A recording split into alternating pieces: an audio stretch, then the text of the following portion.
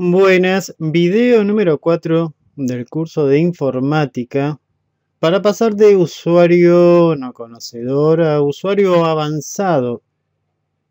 El sistema operativo, mm, Windows, Linux, eh, lo que se usa normalmente del sistema en sí, eh, a nivel usuario, ¿no? Mm, es muy poco. Podríamos, por ejemplo, ponernos a, ver eh, cuestiones poco relevantes como la configuración de pantalla. Está lleno de detalles que uno por ahí los usa un par de veces nomás. Si vas a pantalla, eh, por ejemplo, puedes cambiar la resolución. ¿Qué es esto de la resolución? O sea, esto generalmente no se cambia salvo que haya un problema. A mayor resolución, mayor calidad. Pero cada monitor tiene una resolución determinada. Si por algún problema se le cambia la resolución de pantalla, vos instalaste otro monitor, y bueno, tenés que ir buscar en, la, en pantalla la resolución. Eh, originalmente tenían solapas y vos hacías un clic y te movías en las solapas. Ahora esas solapas prácticamente están de costado en vez de arriba. Inicio apagado y suspensión. A veces es molesto que la computadora se te apague en determinada cantidad de minutos o que no se te apague. Bueno, desde acá regulas el tiempo.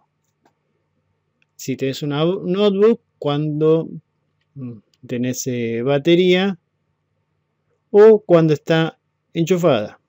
Suspenderme, por ejemplo, yo lo tengo en nunca, porque estoy trabajando con varias computadoras por ahí y no quiero que entren a modo de ahorro de energía suspendiéndose, apagándome y cerrándome todos los programas que a veces se me hacen un lío brutal.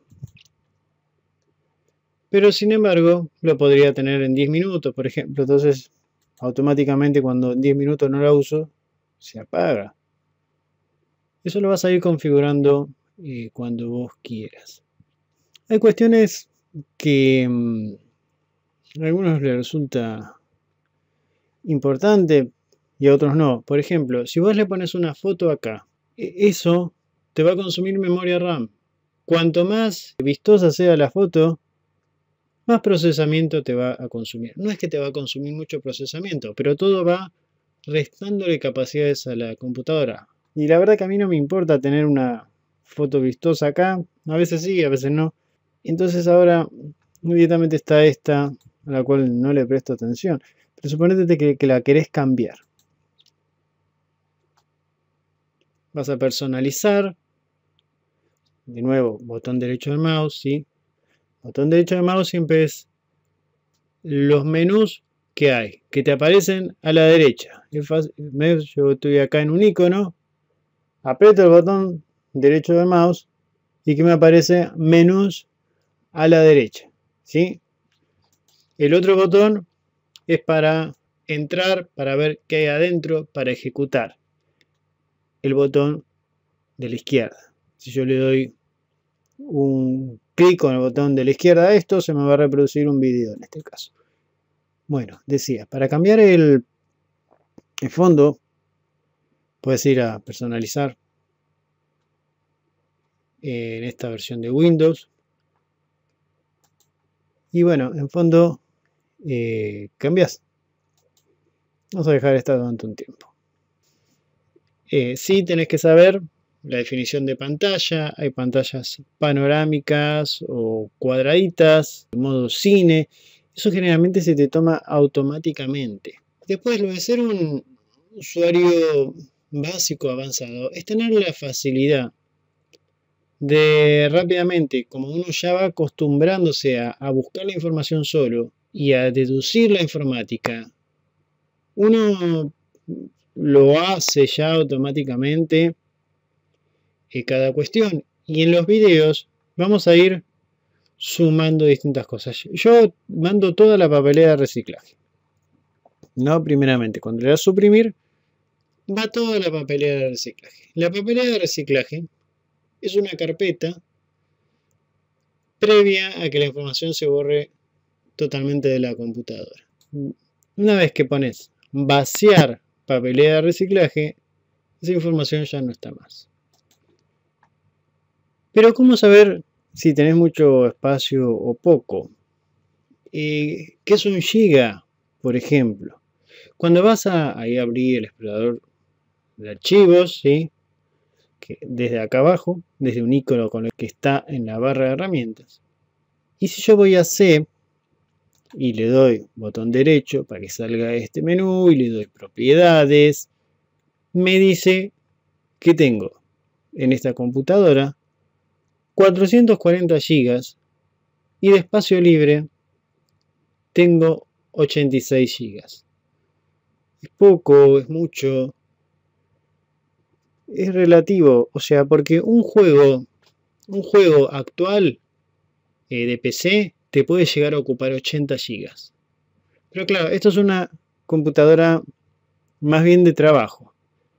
Pero sin embargo, tiene cosas descargadas, acumuladas, un montón de música que va ocupando el espacio. Hasta que cuando el espacio se te va ocupando, la computadora empieza a andar un poco más lenta. Eso te puede molestar o no, eh, según tu caso y según la potencia de la computadora, el disco rígido y demás. Un giga, redondeando, son 1000 megas. 1000 megas, redondeando, son 1000 KB. Un giga Em, la verdad que actualmente es poca información porque la mayoría de los discos rígidos están empezando a tener un terabyte. Y un terabyte son mil gigas. O sea cada vez vamos teniendo más capacidad de almacenamiento. Eh, lo que más pesa es eso lo que te digo. Muchos juegos mucha música. O sea, un MP3, una canción, generalmente te ocupa 4 megas. Una canción. Pero claro, si vas a tener miles de canciones, eso va sumando capacidad. Pero una canción sola son 4 megas y te dije que para hacer un giga necesitas 1000 megas. Entonces ahí tenés más o menos una comparación para saber si es mucho o es poco. Generalmente uno, una computadora actual, cuando se le está llenando la capacidad, es porque uno se puso a descargar muchas cosas de internet o instalar eh, juegos de más. Si no en una computadora de trabajo, no se debería llenar rápidamente el disco rígido. Cuando vos tenés software legal y te conectás y te desconectás de internet cuando no lo usás, un antivirus, eh, fíjate que yo ni siquiera, o sea, tengo acá un antivirus que lo tengo desconectado en realidad. Pero si vos te pones a, a descargar muchos contenidos de internet, a estar conectado a internet siempre, algún antivirus tenés que tener. Vamos a hacerlo más fácil. Antivirus en Google. O en la barrita esa que donde estoy escribiendo, ¿sí? Antivirus.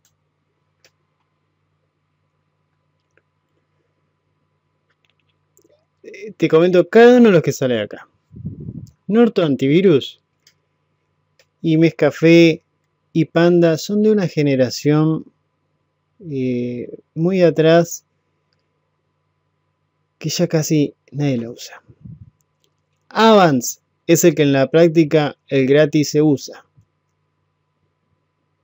Y, mm, o el AVG, su competencia, pero AVG te hacía la computadora más lenta.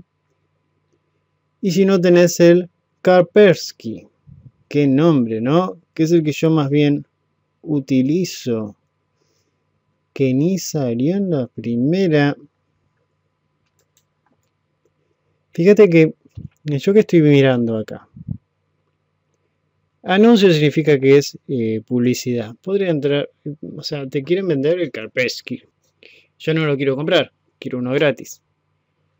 Anuncio, anuncio. Acá recién me salió en la página eh, de Kaspersky. Eh, y voy a ver si acá está lo que quiero. Para abrir un link puedes ir al menú, abrir eh, vínculo en una pestaña nueva, entonces no perdés esta página anterior. Kaspersky Security Code Free. Bueno, lo que dice free significa gratis. Descargar ahora y lo instalás. Así como instalamos un juego, ahora instalás el, antivirus. Este es el que más eh, me gusta. ¿Sí? El Kaspersky. y sin embargo yo acá mm, hasta lo tengo desactivado y en realidad eh, mi computadora de trabajo utilizo Linux que es más seguro y con Linux nunca, pero nunca utilicé un antivirus, nunca tuve problemas. El tema de los virus y demás viene cuando descargas cualquier cantidad de cosas piratas, incluso el sistema operativo pirata. Entonces, claro, todo pirata, está todo toqueteado y tiene problemas de seguridad y te aparecen eh, virus por todos lados. Bueno, ¿qué vimos en este video más sobre informática? Vimos cómo cambiar la fotito del escritorio, eh, que podés ir a configuración de pantalla. ¿Y qué es eso de, de la pantalla y para que sepas que en configuración de pantalla vas a tener esto, la resolución de pantalla. Está sonando mi celular. Vimos el tema del antivirus. Seguimos navegando por internet y te mostré esta cuestión básica de prestarle atención acá para no estar probando de una página a la otra, sino que directamente ir eh, a lo que uno realmente está buscando. Y así seguimos avanzando viendo detalles para que cada vez sepas más de la informática y puedas entender mejor. Cada cosa que cargues en tu computadora de atractivo le está consumiendo recursos al sistema. Eh, o sea, en, otras palabras, estás consumiendo recursos de tu computadora al cohete. Si yo lleno de ventanitas, por ejemplo, esto que está, el clima, acá, si yo le cambio el diseño, le pongo diseño en 3D, un muñequito que, qué sé yo, que, se pone acá y te saluda, o sea, todo lo extra que le pongas eh, no, no te enriquece la base del sistema, que en realidad un sistema operativo lo que hace es brindarte una base para que vos puedas usar un programa, no te enriquece eso. Lo que hace es que te ande todo más lento. Bueno, no te pierdas uno solo de los videos.